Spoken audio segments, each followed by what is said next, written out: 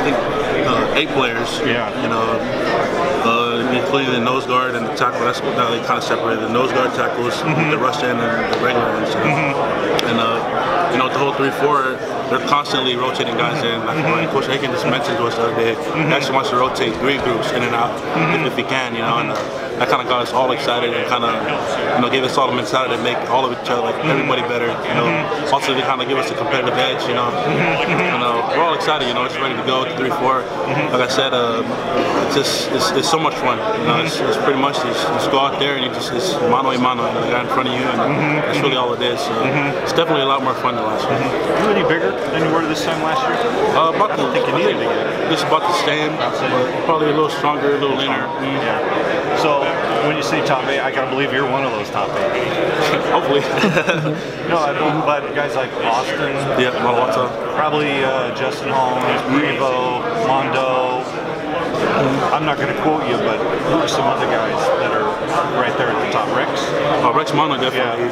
He's most likely going to start this year as Yeah. Uh, uh, Gary Baker. Uh, we got two new guys that came in uh, Mm-hmm. for D-line. Uh, Ratu Mafiloa. Oh yeah, And, okay. yeah, he's uh, right now he can't really play yet in terms of eligibility. He just got in. So. Yeah. And then uh, Wayne Kirby.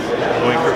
Yeah. So all these, some new guys are gonna, Yeah. they're good, huh? Mhm. So you can tell just by lifting with them. Oh, yeah. That's- You guys are athletes. You can kind of see, you can kind of tell by looking at guys, kind of, right? Yeah, huh, yeah, pretty much. I mean, we've been around athletes our whole life. Uh, I mean, it's not so much a judgmental thing, you know. But, uh, I, guess, I guess you can, but you know, we've worked all, uh, really close the whole summer of the D line in terms of conditioning, weightlifting, and extra work on off the field, which is another huge part of you know our workouts this summer. And, uh, I think we're all pretty comfortable together as a unit, and we're just ready to push forward.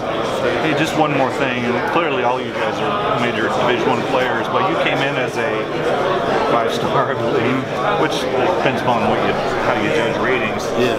But a lot of times fans and, and people in the media, they look at, hey, this is a year for Canton to step up. He's a five-star player. He's a good player.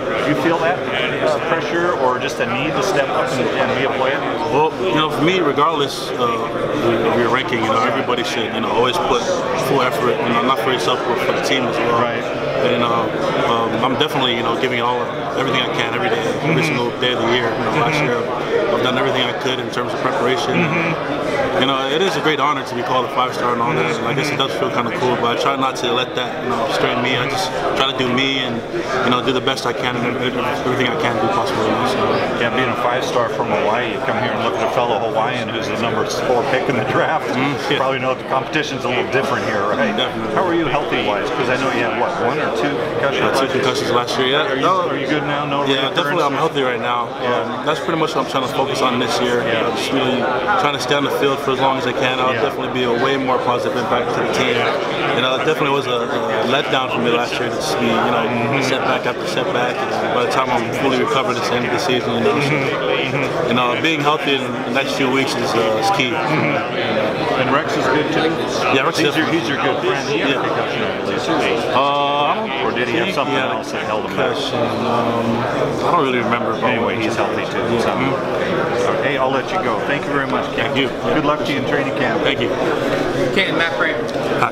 Nice to meet you. You too. Pleasure. What's what's different for you this time around from last year's fall camp? I mean, obviously you said like you're healthy, but do things seem more natural to you, or you kind of need to know where you need to be? You know, is there anything different about this fall camp for you? Oh yeah, I mean uh, everybody here talks about your worst fall camp is your first fall camp, and uh, you know I already you know feel comfortable. You know a lot of the coaches where I'm supposed to be. I'm comfortable with uh, all my resources around me, and uh, yeah, you know just, I'm just ready to go. I'm excited for it, and uh, you know we had our first practice and a lot of bruises already, but you know it's, it's, I missed it. Know, I'm happy to be back. What's been your impressions through 15 practices in, in spring and now your first one of fall camp of, of the 4-3 compared to the 3-4 and, and your your fit into that? Um, I think you know because of spring ball and how hard we worked, I feel like we've started at a notch ahead. You know, but uh, we definitely still have a lot to work on.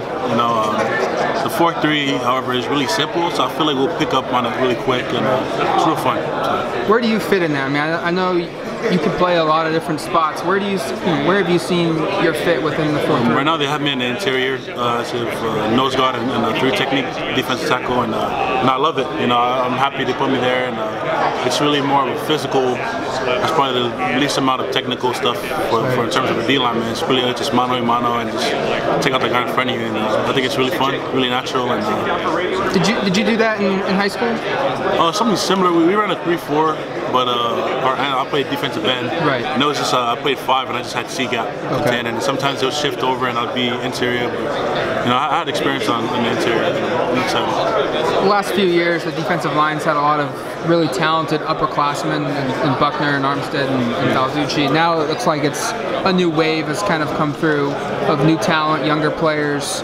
What's the you know the vibe of this group right now?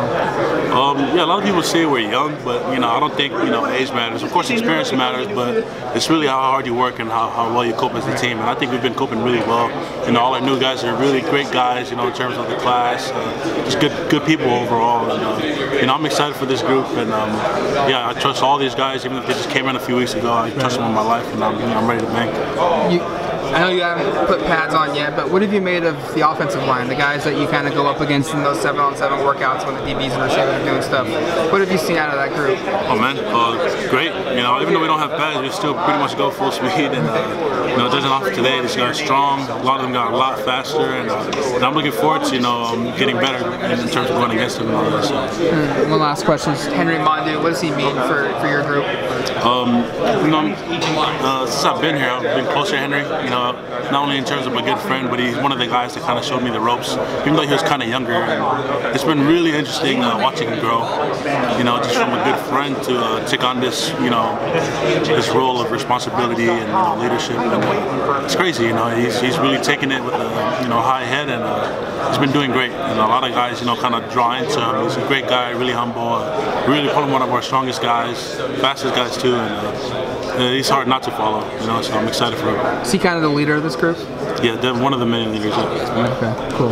Well, I have one last question. Hmm? So Pokemon Go is a pretty big deal right now. if, if one of the one of the coaches on the staff was going to play Pokemon Go, who would it be?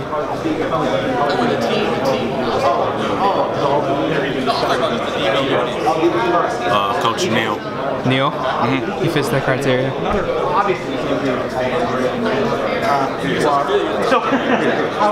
Yeah, Coach Neil. cool. Thanks a lot, man. I appreciate it. Have a good day. You too.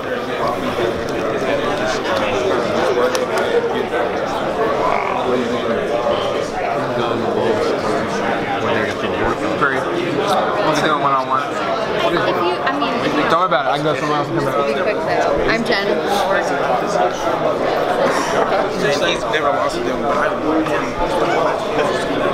Whereas this one, you're just trying not to get stuff stuck in it.